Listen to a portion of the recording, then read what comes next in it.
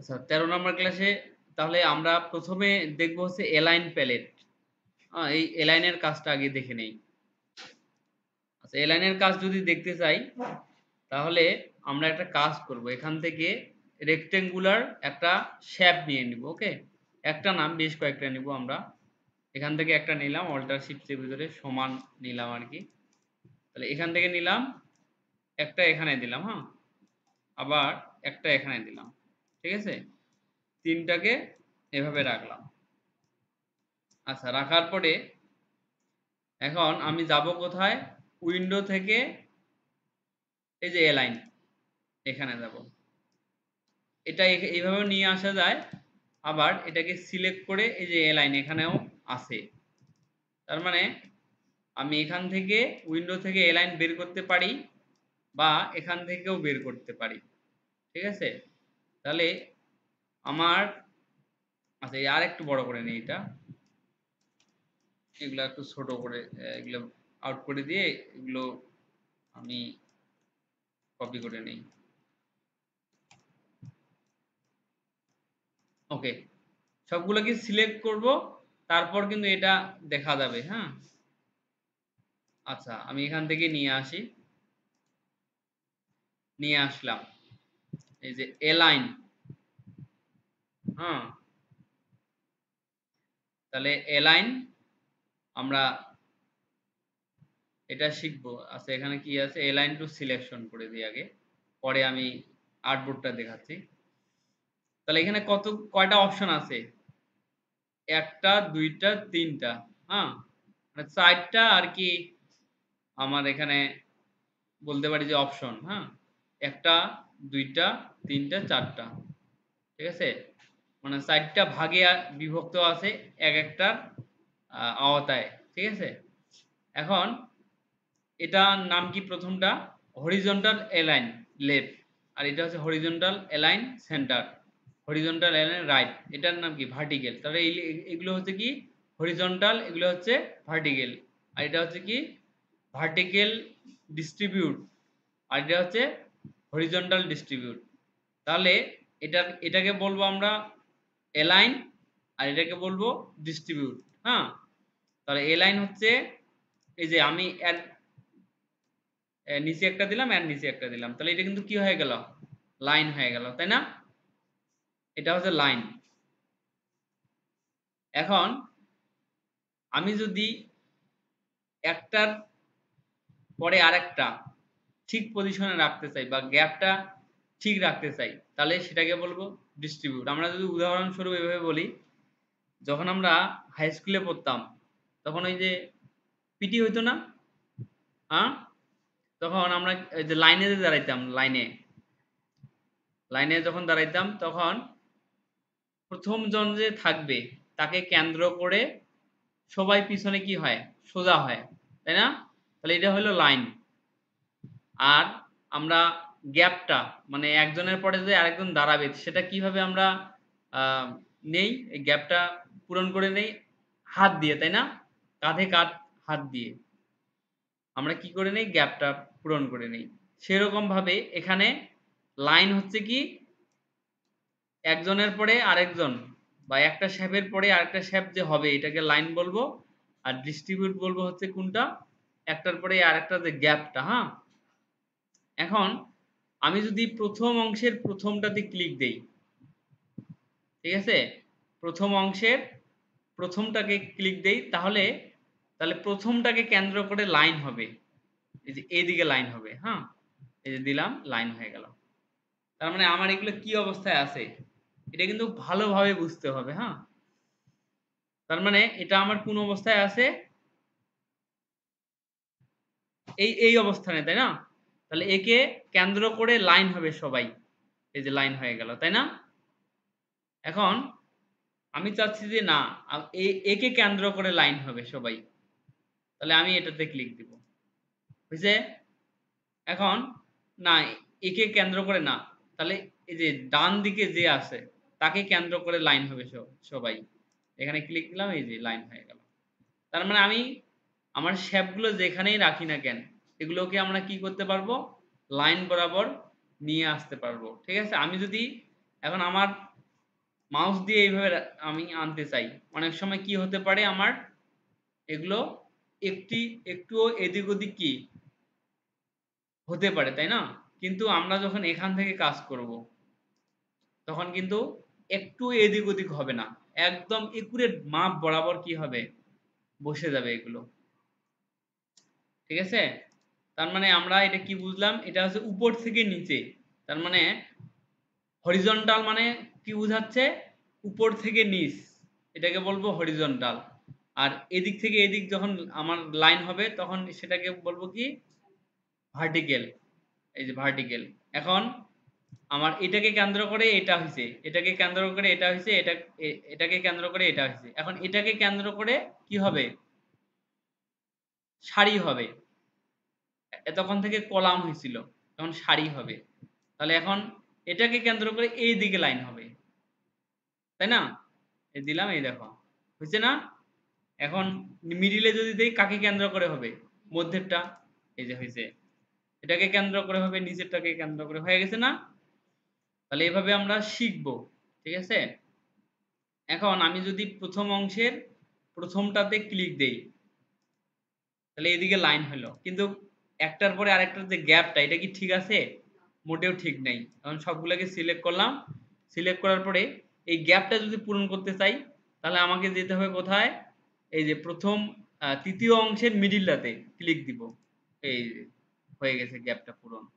এখানে যদি আমার অনেকগুলো শ্যাপ থাকতো, দেখো, আমি এলোমেলো করে দিচ্ছি সবকিছু। এই যে এখানে দিলাম এটাকে। হ্যাঁ এটাকে আমি যদি আরও একটা নেই, এইদিকে একটা দিলাম। তাহলে সবকিছু অগোছালো আছে, তাই না? এলোমেলো অগোছালো। সবগুলোকেই সিলেক্ট করলাম। সিলেক্ট করে আমি কি করব? একে কেন্দ্র করে সবগুলোকে লাইন করব। লাইন করলাম। বুঝছে এখন আমি কি করব? এই গ্যাপটা পূরণ করব। তাহলে এই যে এখানে ক্লিক দিব। তাহলে তৃতীয় অংশের মিডিলে আমি ক্লিক দিলাম। সবগুলো একবারে কি হয়ে গেল? অগোছালো, একদম গোছালো অবস্থায় চলে আসলো। ঠিক আছে? এখন আমি যদি কি করি? এটাকে এখানে রাখি, এটাকে এখানে রাখি। এটাও কিন্তু অগোছালো এখন আমি এটাকে গুছিয়ে নিব। তাহলে আমি একে কেন্দ্র করে নিয়ে আসব সবগুলোকে। তাহলে এখানে ক্লিক দিলাম, সবগুলো এখানে চলে আসছে, তাই না? এখন আমি যদি এই গ্যাপটা পূরণ করতে চাই, তাহলে আমাকে কোথায় ক্লিক দিতে হবে? এই যে এখানে। এই যে গ্যাপটা পূরণ হয়ে গেল। বুঝছে না? একদম গ্যাপ একটুও কম বেশি নেই। ঠিক আছে? তাহলে এইটুকুই আমরা মনে রাখব, ওকে? তাহলে এইটুকু মনে রাখলেই আমাদের কি হবে? অনেক কিছু বোঝা হয়ে যাবে। এখন আমি যদি আরেকটা বিষয়, আমি যদি এখান থেকে একটা কি নেই, এই যে আমি এই আর্টবোর্ড বরাবর একটা কি নিব শ্যাপ নিলাম বা এখানে একটা শ্যাপ নিলাম। হ্যাঁ? এখন আমি চাচ্ছি এটাকে একদম এর মিডিলে বসাবো। আমরা কি করি? এখানে টেনে নিয়ে এসে এখানে পয়েন্টটা খুঁজি পয়েন্টটা খুঁজে বসাই দেই, তাই না? কিন্তু অনেক সময় এরকম একটু এদিক ওদিক হতেও পারে। কিন্তু আমি যদি এটাকে একদম এর মিডিলে বসাতে চাই, তাহলে কীভাবে বসাবো? এটাকে ক্লিক করব। ক্লিক করার পরে আমরা যাব কোথায়? এই যে এখানে। এই যে এখানে একটা এলাইন টু সিলেকশন অপশন আছে, তাই না? এখানে ক্লিক করব। তাহলে এলাইন টু সিলেকশন আছে। আমরা কি করব? Align to artboard align to selection শুধু শ্যাপগুলো নিয়ে কাজ করে।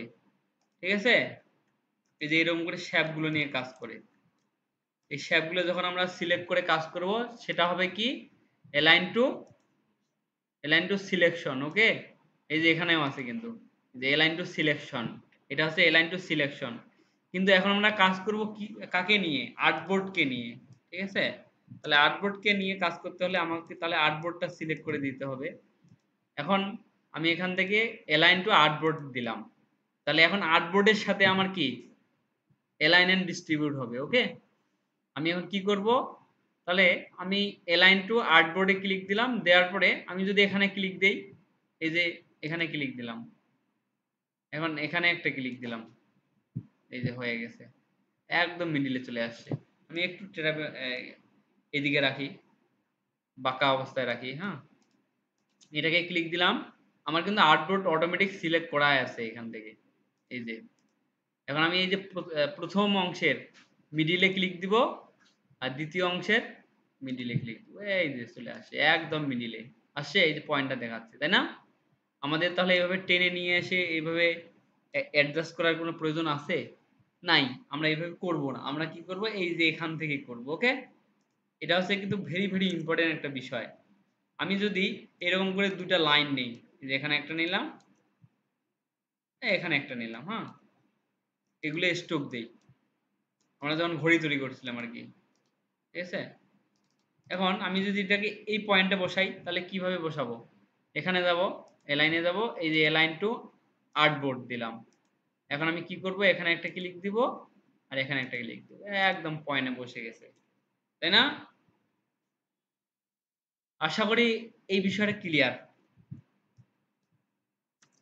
আচ্ছা তারপরে এবার আমরা শিখব হচ্ছে কি? এলাইন প্যালেট আমরা শিখব হচ্ছে এলাইন প্যালেট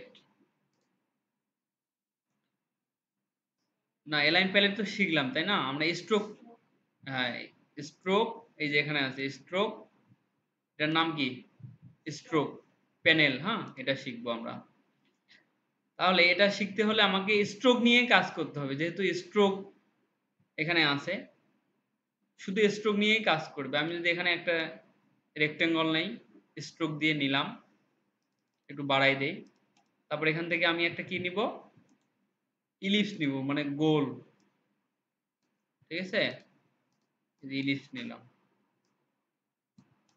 এখন আমি যদি এটাকে ধরি, ধরার পর আমি যদি স্ট্রোকে যাই ঠিক আছে? এখান থেকে কিন্তু সাইজটা বৃদ্ধি করতে পারতেছি, তাই না? বিশ, দশ করে দিলাম। সাইজটা বৃদ্ধি পাইল। এখন এখানে আরও কিছু অপশন আছে ভিতরে, ঠিক আছে? যেমন এই যে এখান থেকে ইউনিফর্ম অপশনটা ছিল। ইউনিফর্ম করলে কি হয়? এরকম হয়, তাই না? যে এরকম হয়। মানে এখানে কিছু ডিফল্ট ভাবে এরকম মানে স্ট্রোকের কি দেয়া আছে? এরকম আকার আকৃতি দেয়া আছে, তাই না? তাহলে আমি যদি এখান থেকে একটাতে সিলেক্ট করি, তাহলে ওরকমই হবে স্ট্রোকটা তাই না? এই যে এরকমই হচ্ছে। এখানেও কিন্তু এই অপশনটা আছে, এই যে ইউনিফর্ম আচ্ছা আমরা এই কয়েকটা অপশনের কাজ দেখব আর কি। এটা কিন্তু আমাদের প্রয়োজন হয় অনেক সময়। আমি এইভাবে কি করলাম? নিলাম। এখন আমি চাচ্ছি কি?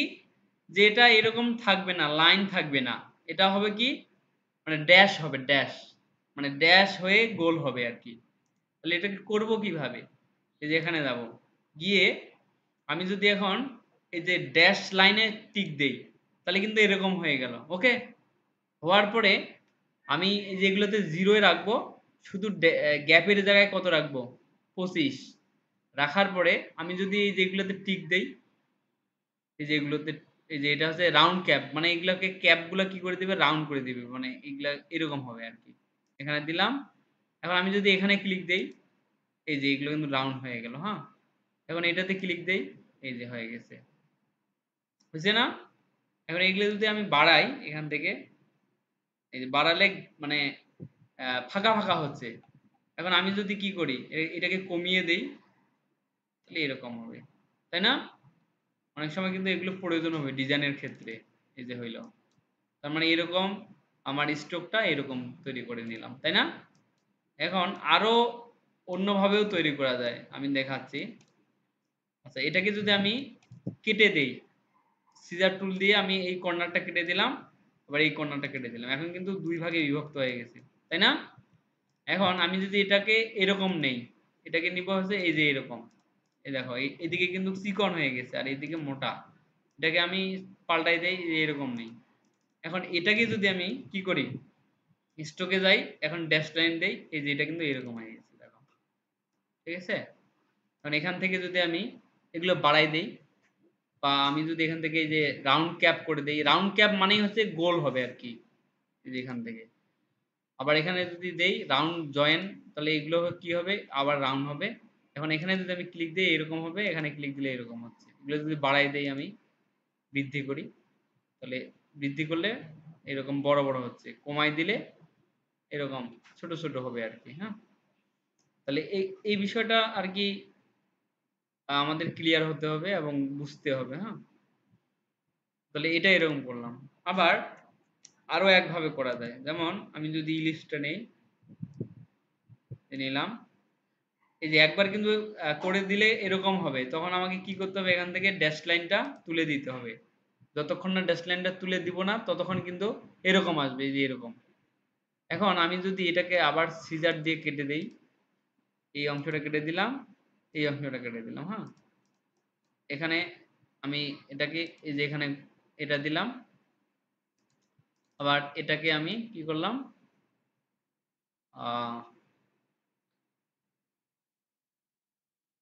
এটাকে আরও অন্যভাবে দেই। যেমন আচ্ছা এটাকেই শুধু এইভাবে রাখি হ্যাঁ? এটাকে এইভাবে রাখলাম, এটাকে ড্যাশ করে দিব তাহলে আমি এটাকে ড্যাশ লাইন করে দিলাম। দিয়ে এখানে ক্লিক দিলাম, এগুলো বাড়াই দিলাম হ্যাঁ? এগুলো বাড়াই দিলাম। কমাই দিতে হবে, তাই না? কমিয়ে দিতে হবে। তাহলে কিন্তু এইরকম হয়ে গেল। তাই না? এখন কিন্তু একটা অন্যরকম পয়েন্ট চলে আসছে এই দেখো। হ্যাঁ তাহলে এই, এগুলো হচ্ছে ক্রিয়েটিভিটি এগুলো হচ্ছে কি আইডিয়া আমাদের জেনারেট করে কি করতে হবে, কাজ করতে হবে, তাই না? এই যে এখান থেকে কি হয়েছে দেখো দেখি। আমি যদি এটাও এরকম করে দেই, যে এখান থেকে এখান থেকে এই যে এটা করে দেবো, তাহলে কি হলো যে এরকম করে চলে গেছে, তাই না? আচ্ছা এখান থেকে এটা রাখলাম। তাহলে এটা থাকল আমার কি? ড্যাশ আর এটা থাকল একটা এইভাবে শ্যাপ শ্যাপ বলতে এটা স্ট্রোক তাই না? তাহলে আমাদের এগুলো বুঝতে হবে ওকে আমি যদি গুগলে গিয়ে সার্চ করি, যে এলাইন প্যালেট না? এলাইন এলাইন প্যালেট তো না, এটা হচ্ছে স্ট্রোক প্যালেট তাই না? Stroke palette